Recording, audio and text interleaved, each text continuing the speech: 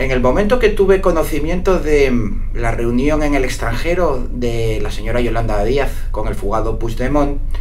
naturalmente que quizás por deformación profesional, quizás por eh, costumbre del análisis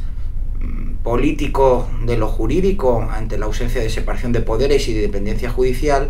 naturalmente me planteé la posibilidad y desde luego mm, pues eh, esa intuición jurídica acostumbrada al análisis de estas cuestiones me dio que pensar si efectivamente se habría cometido un delito en aquella, aquella reunión. Eh, poco después he tenido conocimiento de que algunas asociaciones, hay varias querellas en definitiva, que se han interpuesto contra mm, doña Yolanda Díaz como autora penalmente responsable de un delito de omisión de perseguir los delitos del artículo 408. Concretamente he tenido conocimiento por lo menos de la Asociación Europea contra la Corrupción o que Convivencia Cívica Catalana.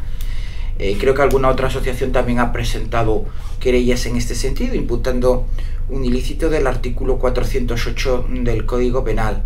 Eh, por ello, como digo, además eh, he excitado mi, mi, celo jurídico en el sentido de, o la curiosidad, me he acercado a las fundamentaciones jurídicas eh, que imputan a la señora Díaz este delito del artículo 408 y solo he podido llegar a la conclusión, desde mi humilde punto de vista, ya más que de, de, abogado, no de jurista, porque entiendo que sería demasiado presuntuoso, titularse así, juristas serían Antonio García Trevijano, Don Dalmacio Negro, eh, Jelinek, Yering, eh, personas que, bueno, que se hace un análisis creativo en el, asunto de fuentes de derecho, no solo de la hermenéutica interpretadora, que al fin y al cabo es lo que hacemos todos los abogados, de los distintos tipos que seamos. Yo me considero a mí mismo como un humilde artesano del derecho, pero hay otros abogados que a lo mejor, eh, por ejemplo, pues eh, pertenecen a grandes despachos y no dejan de ser abogados y enfocan la profesión de otra manera diferente otros ni siquiera pisan un juzgado porque no son procesalistas, pero no dejan de ser por ello abogados. En cualquier caso, mm, el análisis jurídico mínimamente riguroso yo creo que no resiste la interpretación del artículo 408 del Código Penal. En efecto, mm, el artículo 408 del Código Penal dice textualmente que la autoridad o funcionario que faltando la obligación de su cargo dejar intencionadamente de promover la persecución de los delitos de que tenga noticias de sus responsables, incurrirá en la pena de inhabilitación especial para empleo cargo público por tiempo de seis meses a dos años. Es un delito de omisión de perseguir delito. Parece claro que eh, Yolanda Díaz, como miembro del gobierno, y para mí eso sí que es indiscutible, es una autoridad. Más que funcionario público habría que centrarse en el concepto de autoridad, y desde luego lo es. Un vicepresidente del gobierno, desde luego que es autoridad autoridad pública y gubernamental. Eso está claro. En cuanto a la promoción de la persecución de delitos, evidentemente también tiene ese deber, yo lo veo naturalmente, pero para que se consume esa eh, actuación punible por parte de la señora Díaz, debe tener la capacidad para promover eh, la persecución de ese delito. Y desde luego, en una reunión en el extranjero en la que no es competente como autoridad, no puede perseguir ese delito ni promoverlo. A tal punto esto es así que la carencia de competencia para la prosecución del delito en el ámbito espacial de aplicación de la norma determina efectivamente la posible comisión del delito por el sujeto, por el sujeto activo. A tal punto es así que eh, el hecho de que doña de seguirse la tesis de los creyentes en este caso no habría hecho falta que Yolanda Díaz se desplazara a Bélgica para hablar con el señor Puigdemont, dado que esa obligación de promover la persecución del delito no solo es que fuera mm, eh, posible desde España, no sería necesario haberse desplazado, sino que sería más intensa esa obligación desde España, que es de donde tiene esa competencia para la persecución del delito. Eh, efectivamente, el encaje del, ilícito penal lo veo bastante, bastante difícil. Eh, volviendo a lo que decía antes, entiendo que la aplicación de todo operador del derecho presupone el conocimiento de las fuentes del ámbito en el que se está moviendo. Y si bien es cierto que los operadores jurídicos, llamémoslos como los llamemos, eh, y más allá de, de, una aplicación literal o seguimiento de una jurisprudencia realmente establecida, deben de conocer las fuentes del ámbito del derecho en el que nos movemos. En el derecho penal rige el principio de tipicidad, de encaje, de excepcionalidad y de última ratio de aplicación de, esta norma, de este ámbito del derecho. Esto quiere decir que el principio de tipicidad es que debe ajustarse y encajarse sin que quepan eh, las conductas a los tipos penales, sin que quepan eh, interpretaciones extensivas, que es lo que yo entiendo que estas querellas están realizando del tipo penal. Sin embargo, en el derecho civil y por contra lo que rige es el principio de autonomía de la voluntad, es decir, en el derecho civil rige la autonomía de voluntad, mientras en el derecho penal rige el principio de tipicidad. Y yo creo que es elemental conocimiento de las fuentes del derecho quien quiera operar en las mismas, más allá de la mera espectacularidad de acciones que están destinadas a la nada. Eso no significa que el ilícito cometido por la eh, señora, eh, esta señora vicepresidente del gobierno, doña Yolanda Díaz, esté exento de responsabilidad penal. Lo que me resulta realmente llamativo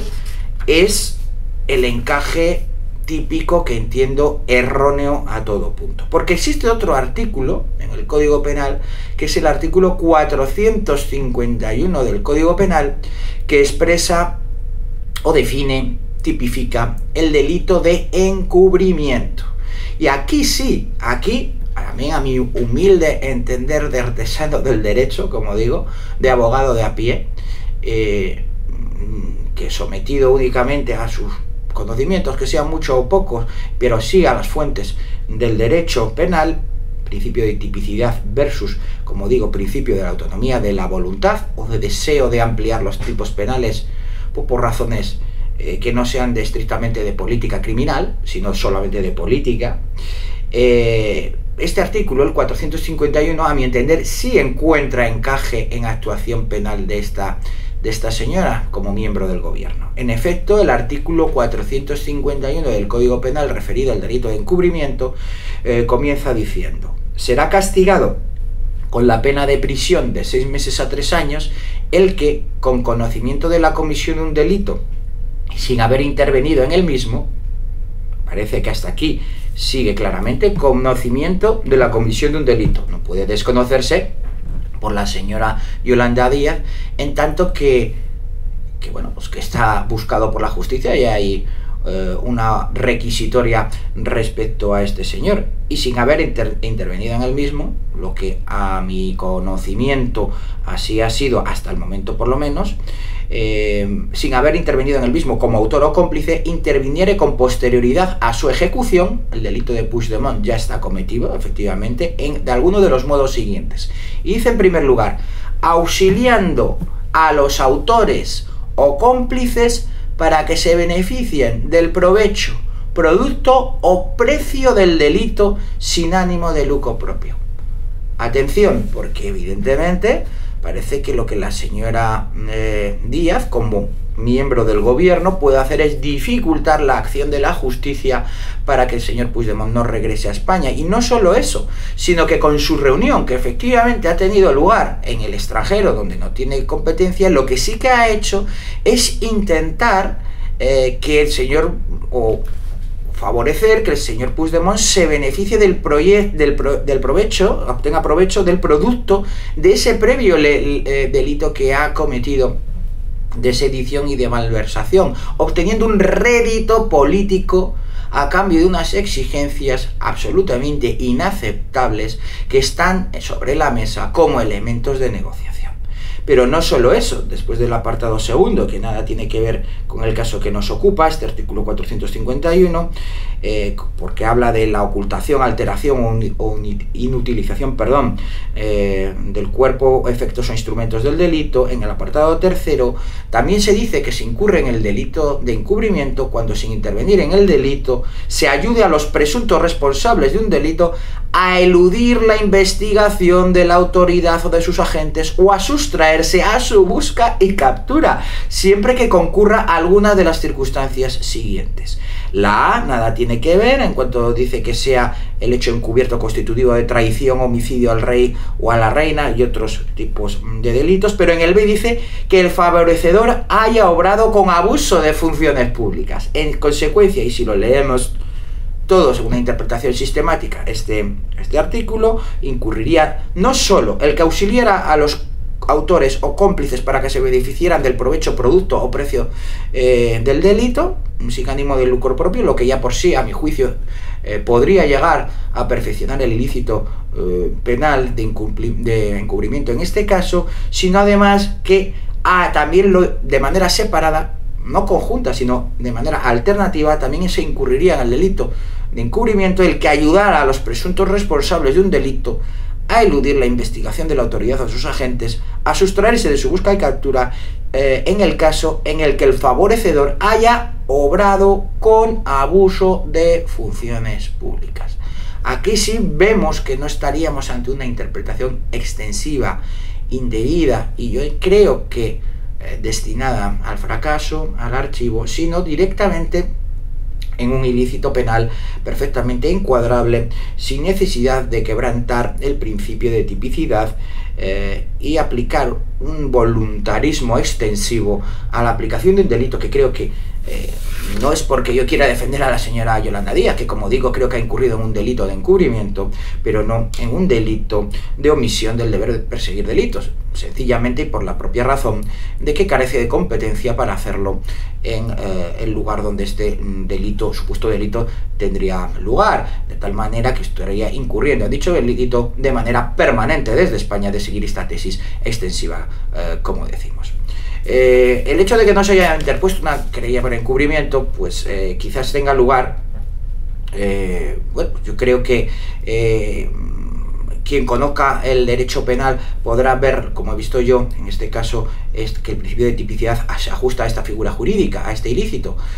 ahora bien, la utilidad de la propia querella, como digo, más allá de la espectacularidad de la acción en este eh, estado de partidos sin independencia judicial, con un tribunal constitucional absolutamente eh, sometido a los designios de los jefes de los partidos, en este caso del, Partido Socialista, del señor Sánchez, sería absolutamente inútil. No vengo a decir eh, que, que, no haya existido el delito de encubrimiento, que como digo ha existido, sino la inutilidad de la interposición de la querella por las propias circunstancias políticas en las que, en las que nos encontramos. Pero